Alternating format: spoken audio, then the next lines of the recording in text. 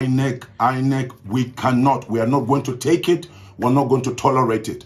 And you cannot allow any Nigerian to be disenfranchised. This time around, the voices of the people is louder. I've been night, all night, we've been watching and we've been following the trend of things.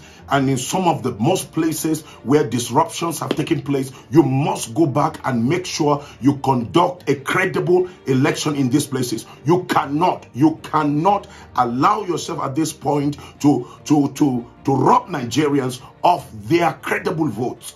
Now we've seen what is going on in Lagos. Lagos, there must be, there must be the right thing done, and security agencies must be deployed to allow Nigerians to vote in in um in parts of Kaduna, in parts of Abuja, in parts of Zamfara, in parts of Kano, and in other states, we will not allow. And every Nigerian who is hearing me right now, you must insist on your right. We must insist on our right. Our votes must count and our vote must count. Let's stand and make sure that we protect our votes in all our polling units and defend the results that you have.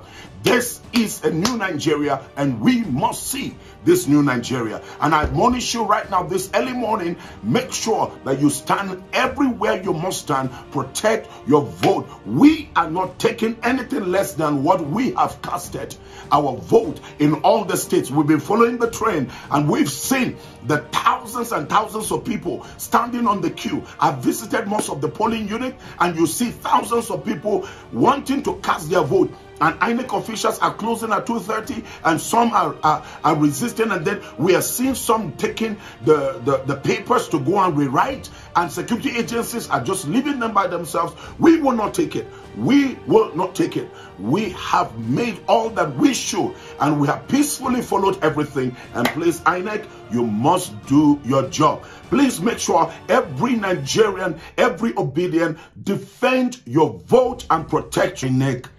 Those of you that have not voted, please go back, go back this morning, go back to your polling unit, stay there. Don't go. This is once in a lifetime. Don't go until your votes are counted. Go back to your polling unit and stay there and demand that your vote must be counted.